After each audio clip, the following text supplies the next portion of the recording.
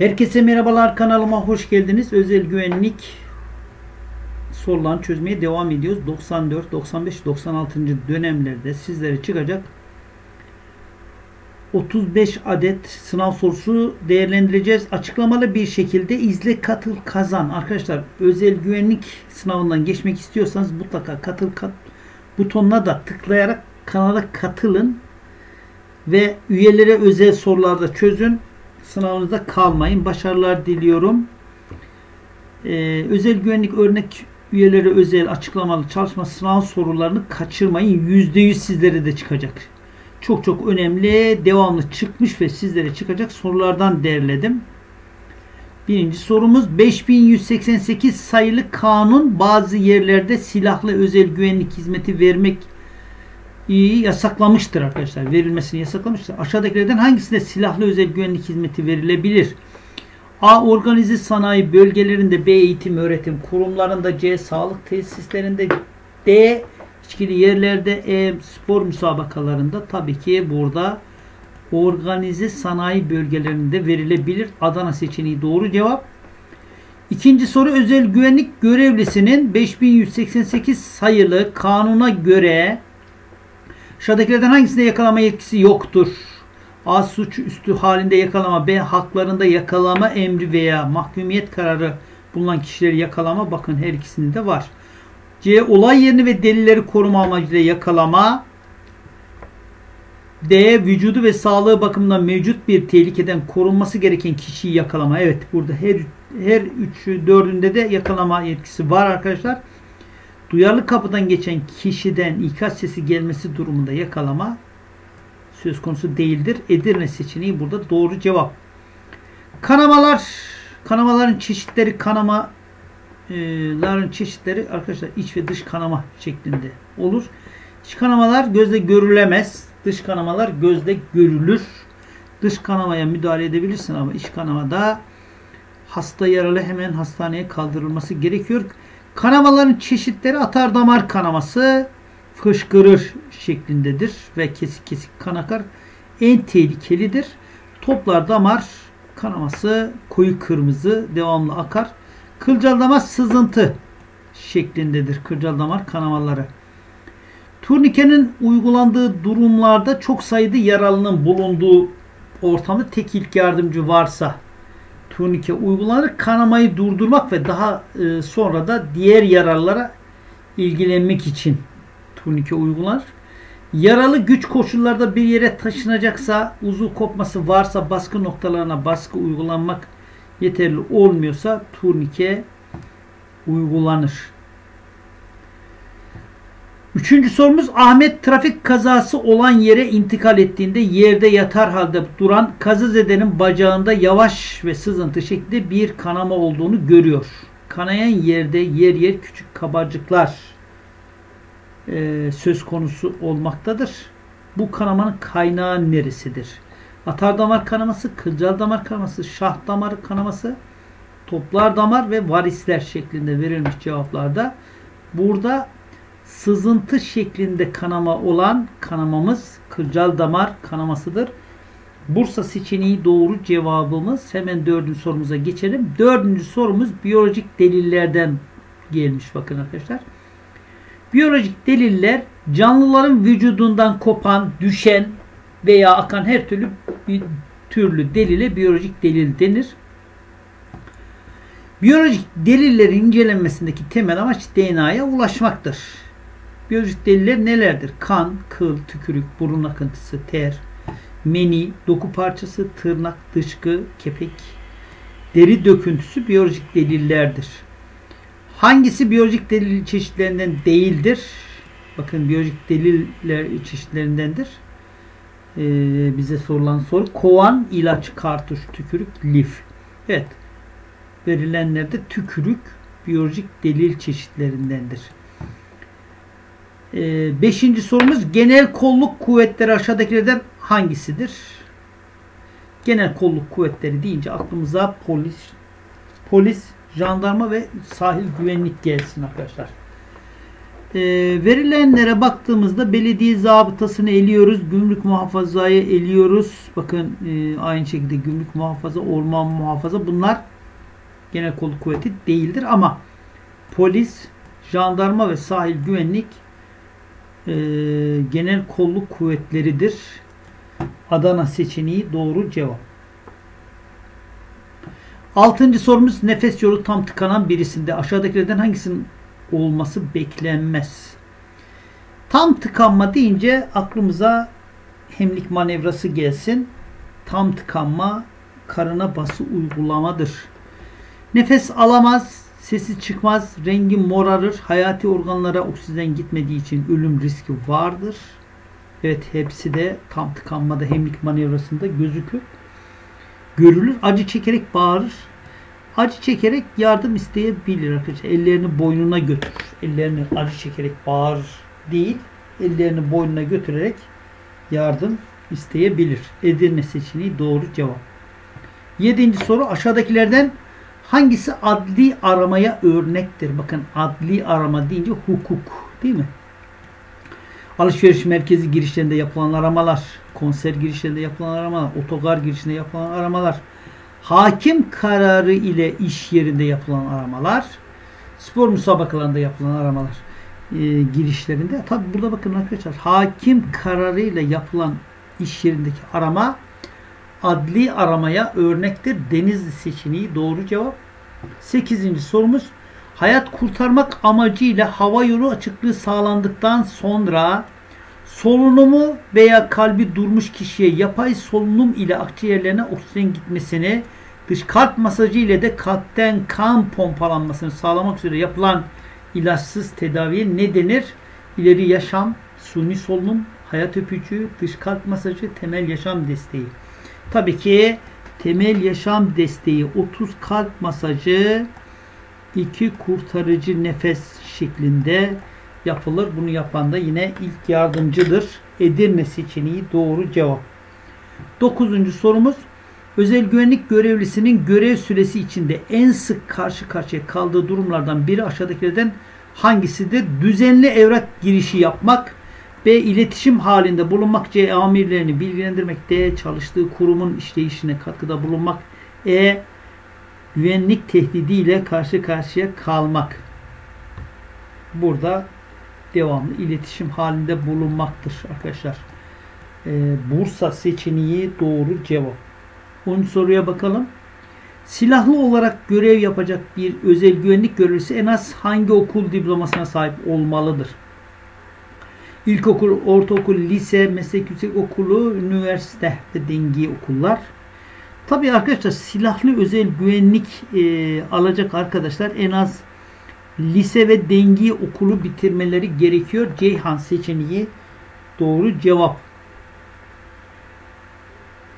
11. sorumuza bakalım. Özel güvenlik hizmetlerine ilişkin yaptırım gerektiren fiiller ile idari para cezaları aşağıdakilerden hangisi tarafından verilir? Mahalli mülki amiri, il özel güvenlik komisyonu, C. İçişleri Bakanlığı D. Özel Güvenlik Denetleme Başkanlığı D. E. Defterdarlık Evet burada mahalli mülki amiri tarafından verilir. Adana seçeneği doğru cevap. 12. sorumuza bakalım. Toplantı, konser, sahne gösterileri ve spor müsabakaları gibi faaliyetlerin yapıldığı yerlerde suç unsuru olmadan yapılan aramaya ne ad verilir? A. Önleme B. Adli arama C. Zapt etme D. El koyma E. Şüpheli araması. Tabii ki burada toplantı, konser, sahne gösterileri, spor müsabakaları girişlerinde yapılan aramalarda esas amaç önceden olabilecek olayların önüne geçmektir. Önleme aramasıdır. Adana seçeneği doğru cevap 13. sorumuz 5188 sayılı özel güvenlik hizmetlerine dair kanunun ilgili maddesindeki görev alanı belirlemede usul nedir? A. Emniyet Genel Müdürlüğünce belirlenir. B. İl Emniyet Müdürlüğünce belirlenir. C. Bölge Polis Merkezi'nce belirlenir. D. İl Özel Güvenlik Komisyonu kararı üzerine valinin onayıyla belirlenir. E ilgili kurum kuruluş tarafından belirlenir. Bakın burada görev alanı dediği bakın il özel güvenlik komisyon kararıyla valinin onayıyla belirlenir. Denizli seçeneği doğru cevap. 14. soruya bakalım. Burun kanamasında ilk yardımda ne yapılır? A. Buruna sıcak su çekilir. B. Başı öne eğilerek 5 dakika burun kanatlarına baskı uygulanır. C. Başı arkaya eğilerek 5 dakika burun kanatlarına baskı uygulanır. D. Buruna tampon uygulanır. E. Hasta düz bir yere yatırılır. Arkadaşlar burun kanaması geçiren hasta yaralılara başı öne eğilerek 5 dakika burun kanatlarına baskı uygulanır. Edirne seçeneği doğru cevap. 15. soru aşağıdaki sistemlerin hangisi fiziki çevre güvenlik sistemleri içerisinde yer almaz? A. Tel ör, örgüler B. Dedektör sistemleri C. Demir parmaklıklar D. Duvarlar, beton ve engeller E. Bariyerler Burada fiziki çevre güvenlik sistemleri arasında dedektör sistemleri yoktur. Ee, Bursa seçeneği doğru cevap. 16'ya bakalım. X-ray cihazı ile kontrollerde röntgen ışınlarını emerek görüntü yorumlanmasında netlik göstermeyen madde aşağıdakilerden hangisidir? A. Deri ile kaplanmış nesneler. B. Tahta kutu içerisine konmuş nesneler. C. Nemli bezlere sarılmış nesneler. D. Kurşun ve plastik maddelerle kaplanmış nesneler. E. Branda ile ambalajlanmış nesneler. Evet. Dikkat ederseniz arkadaşlar burada e, netlik göstermeyen madde hangi kurşun ve plastik maddelerle kaplanmış maddelanmış nesneler e, netlik göstermez. Denizli seçeneği doğru cevap. 17. sorumuz özel güvenlik görevlisinin kimlik kartı ile ilgili aşağıdaki bilgilerden hangisi yanlıştır? A. Özel güvenlik görevlisine valilikçi kimlik kartı verilir. Tabi sık sık sorulan sorulardan birisi de bu arkadaşlar. Ee, hocam sınavı geçtik. Kimlik kartımızı hangi birimden alırız? Nereden almamız gerekiyor? Valilikten almamız gerekiyor. Kimlik kartı görevlinin adı soyadı silahlı veya silahsız olduğu belirtilir mutlaka. C. Kimlik kartı görev alanı ve süresi içerisinde herkes tarafından görülebilecek şekilde yakaya takılması gerekiyor. D. Üzerinde kimlik kartı olmayan özel güvenlik görevlileri 5188 sayılı kanun 7. maddesinde sayılan yetkileri kullanabilirler. Arkadaşlar kimlik kartı üzerinde olmayanlar kullanamazlar yetkilerini. Evet. Deniz seçeneği yanlıştır. Edirne'ye bakalım. Kimliğin kaybedilmesi halinde işveren durumu derhal valiliğe bildirmesi gerekiyor. Evet bu da doğrudur. 18. sorumuza bakalım. Erişkin bir insanın dakikada solunum ve nabız sayısı kaçtır? Solunum 8, 10, 12, 20, 12, 20, 8, 10, 20, 25, nabızda 50, 80, 60, 100, 110, 130, 60, 100 ve 50 ile 80 şeklinde verilmiş. Yetişkin insanlarda arkadaşlar solunum sayısı 12-20'dir. Nabız sayısı da 60 ile 100'dür. Bursa seçeneği doğru cevabımız 19. sorumuza geçelim. Aşağıdakilerden hangisi silahsız özel güvenlik görevlisi olmak için aranan şartlardan değildir? A. 18 yaşını doldurmuş olmak. Az önce bakın silahlıyı sormuştular. Şimdi silahsız sormuşlar. B. Devletin güvenliğine karşı suçlardan mahkum olmamak. C. Görevin yapılmasına engel olabilecek engelli olmamak. D. En az lise veya denge okul mezunu olmak. E. Özel güvenlik temel eğitimini başarıyla tamamlamış olmak. Evet. Değildir arkadaşlar. Ee, silahsız özel güvenlik olmak için de ortaokul mezunu olmanız yeterli. Değil mi? Lise e, mezunu silahlı özel güvenlikler lise mezunu olabilir. Evet. Denizli seçeneği yanlıştır arkadaşlar. Hemen 20. sorumuza geçelim. Yanıcı madde, ısı ve yakıcı maddenin bir araya gelmesiyle meydana gelen kimyasal reaksiyonun kontrol dışına çıkmasına ne ad verilir? A. Yanma B. Yangın C. Ateş D. Yanıcı madde E. Alev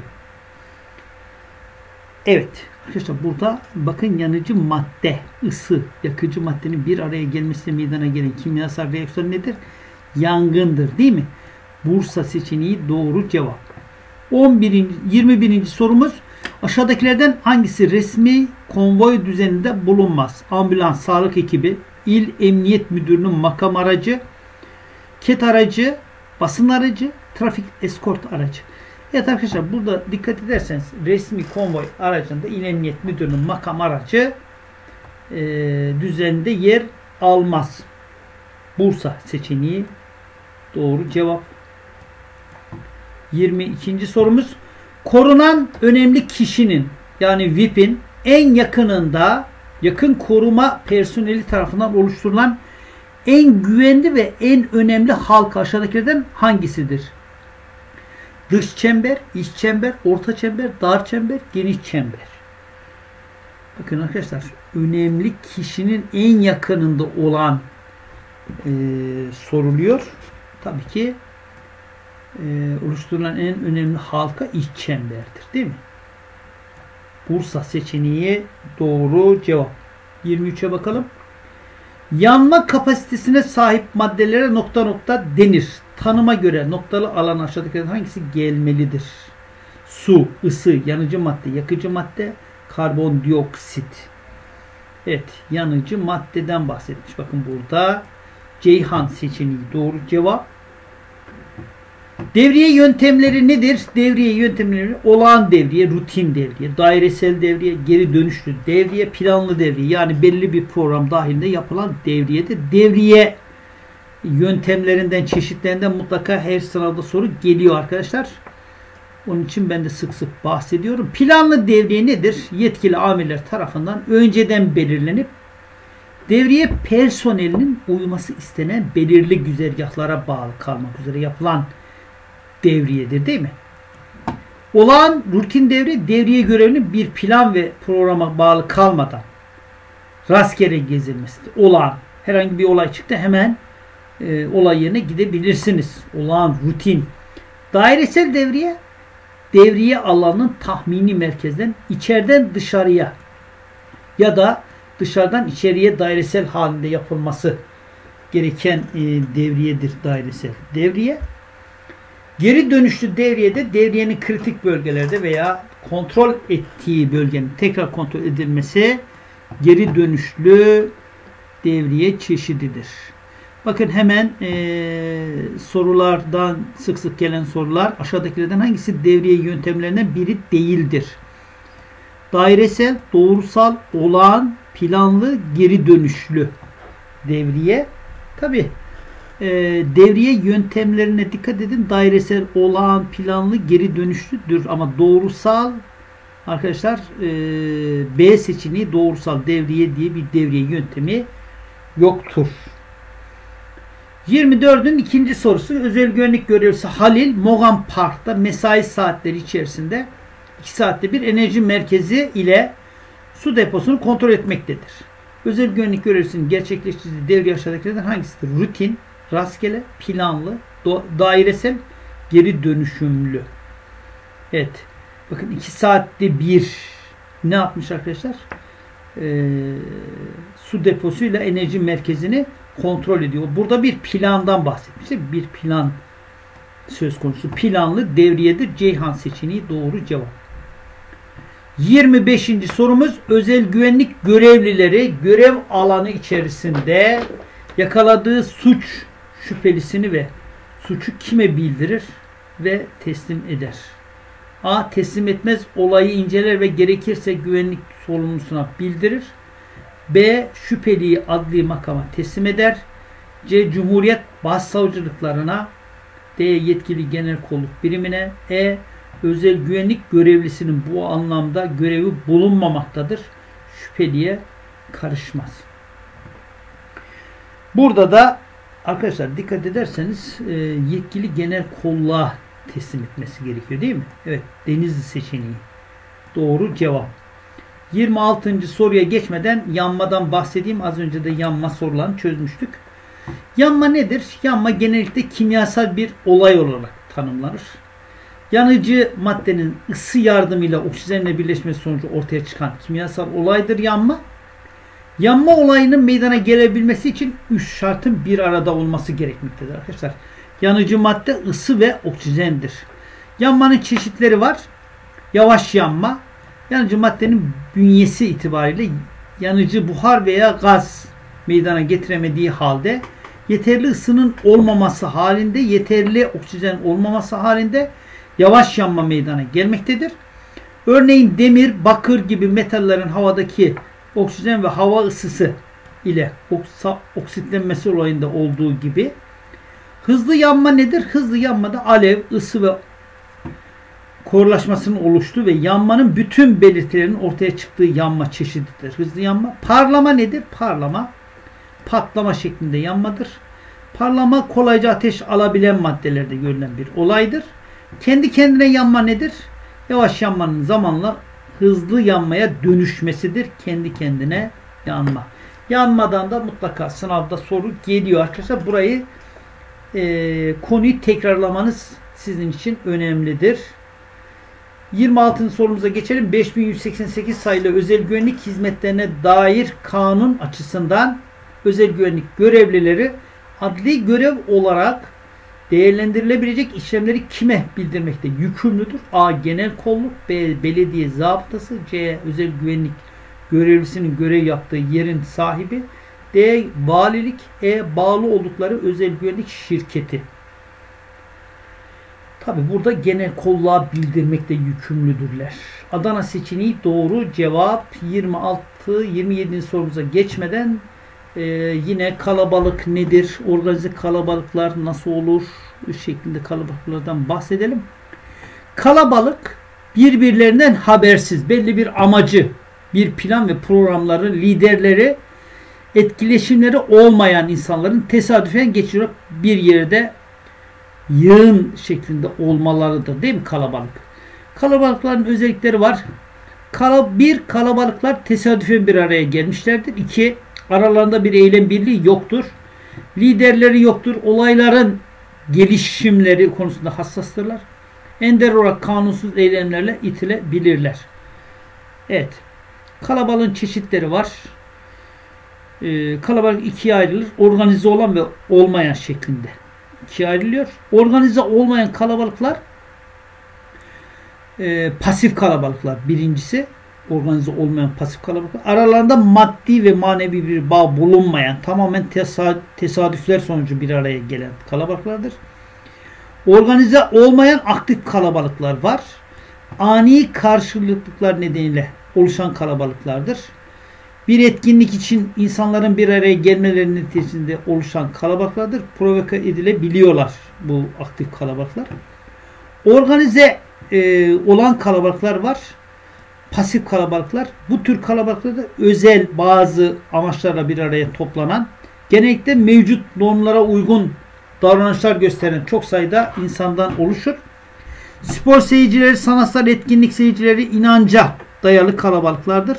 Organize aktif kalabalıklar işte belirli amaçlar üzerinde katkı aydınlatmak ve kamuya yaratmak üzere toplanan insanlardan oluşan kalabalıklardır. Bunlar toplantı, gösteri yürüyüşü, miting, grev alanında bulunan kalabalıklar organize aktif aktif kalabalıklara örnek verebiliriz. 27. sorumuz kamu düzeni ve güvenliğini sağlamakla görevli olan genel kolluğun görevleriyle ilgili aşağıdakilerden hangisi yanlıştır? A. Kamu düzenini ve güvenliğini korumak, kollamak. B. Bozulan düzeni sağlamak. C. işlenen suç ve suçluları bulmak. D. Suçlulara ceza vermek. E. Suç sonrası adli görevleri yerine getirmek. Evet arkadaşlar burada suçlulara ceza vermek genel kolluğun görevleri arasında yoktur. Denizli seçeneği doğru cevap. 28 güvenlik hizmetinin özel güvenlik tarafından görülmesi özel güvenlik komisyonunun kararı üzerine valinin iznine bağlıdır. Aşağıdakilerden hangisinde komisyon kararı olmaksızın valilik tarafından izin verilebilir? A. Kişilerin silahlı personel tarafından korunması B. Kurum ve kuruluşlar bünyesinde özel güvenlik birimi kurulması. C. Parti kongrelerinde. D. Özel güvenlik hizmetinin şirketlere gö gördürülmesinde. E. Güvenlik hizmeti uygulamasının kaldırılmasında. Evet burada da arkadaşlar parti kongrelerinde e, valilik tarafından izin verilebiliyor. Ceyhan seçeneği doğru cevap. 29 özel güvenlik görevlisi adli ve önleyici kolluk kapsamında yakalama yetkisine sahiptir. Aşağıdaki yakalama yetkilerinden hangisi önleyici yakalamadır? Evet önleyici yakalamayı sormuş. A. Ceza muhakemesi kanunu madde 90 kapsamında suçüstü yakalaması. B. Kişinin sağlığı bakımından mevcut tehlikeden korunması amacıyla yakalama. C. Haklarında yakalama emri bulunanları yakalama. D. Yak haklarında mahkumiyeti kararı bulunanları yakalama. E. Ceza muhakemesi kanunu madde 168 kapsamında olan yerini koruma amaçlı yakalama. Evet burada da kişinin sağlığı bakımından mevcut tehlikelerden korunması amacıyla yakalama önleyici yakalamadır. Bursa seçeneği doğru cevap. 30. soruya bakalım. Elektrikli cihazların yakınında çıkan yangın olaylarında hangi tip portatif söndürücü kullanılır? A. Su içerikli portatif söndürücü. B. Köpüklü portatif söndürücü. C. Karbondioksit portatif söndürücü. D kuru kimyasal tozlu portatif söndürücü. E hiçbiri. Evet burada da karbondioksit portatif söndürücü kullanılır. Ceyhan seçeneği doğru cevap. 31'e bakalım. Silahsız ve silahlı olarak görev yapacak olan özel güvenlik görevlilerinin kaç yaşını doldurmaları gerekmektedir? Evet 18 21 18 22 20 22 18 18 21 21 ee, Evet arkadaşlar burada silahsızlar 18 silahlılar ise 21 yaşını doldurmaları gerekmektedir. Adana seçeneği doğru cevap. 32 birbirini takip eden iki düdük sesi aşağıdakilerden hangisini ifade etmektedir? A. Davete işarettir. B vukuat yoktur. C. imdat istenildiğini belirtir. D. Yoklama içindir. E. Vukuat vardır. Arka arkaya iki defa düdük arkadaşlar çalmak demek davete işaret demektir. Yani Adana seçeneği doğru cevap. 33'e bakalım. Alışveriş merkezinde özel güvenlik görevlisi olarak çalışan Ali hırsızlık suçu işleyen şahsı suçüstü yakalamış. Bildirmiş olduğu güvenlik amiri yazılı olarak da talimat vererek genel kolluğa bildirilmemesini emretmiştir. Aşağıdakiler hangisi doğrudur? A. Emri veren güvenlik amiri sorumludur. B. Ali'nin sorumluluğu yoktur. C. Yazılı emir verilmesi yeterlidir. D. Suçu işleyenin yaşına göre işlem yapılır. E. Hem güvenlik amiri hem de Ali sorumludur. Evet böyle bir durumda arkadaşlar e, güvenlik amiri de güvenlik görevlisi Ali de sorumlu olur. Edirne seçeneği. Doğru cevap. 34. soruya bakalım. Bir özel güvenlik görevlisi kendisine yapılan başvuruyu dinlerken aşağıdaki hareketlerden hangisini yapmamalıdır? A. Dinlediği kişi ile göz temasına girmelidir. Evet girmelidir. Omuz hizasında yüz yüze olmayan öze olmaya özen göstermelidir. C. Dinlediklerini not almalıdır. D. işlerini aksatmamak için çalışmaya devam etmelidir. Hayır arkadaşlar. Bakın burada denizli seçeneği yanlış cevaptır. Dinlediğini, anladığını göstermek için onaylamalıdır. Evet. Hangisini yapmamalıdır? İşlerini aksatmamak için çalışmaya devam etmemelidir. Değil mi? Burada e, kendisine başvuranı dinlemek zorundadır. Evet dinlerken e, bütün karşıdaki kişinin ne demek istediğini tam net bir şekilde anlayarak e, yorumlamalı, not almalıdır. 35. Yanmakta olan çok katlı bir binada aşağıdaki işlevlerden hangisini yapmak risklidir? A. Yangın merdivenini kullanmak. B. Kapalı bir yerde isek pencere ve kapıyı sıkıca kapatıp açıklıkları tıkayarak duman girişini önleriz. C. Asansörü kullanırız. D. Alt kata doğru kaçarız. E. Yangın çıkış yollarını takip ederiz. Evet arkadaşlar hangisini kullanırız? Yanmakta olan çok katlı bir binada hangisini yapmak risklidir değil mi?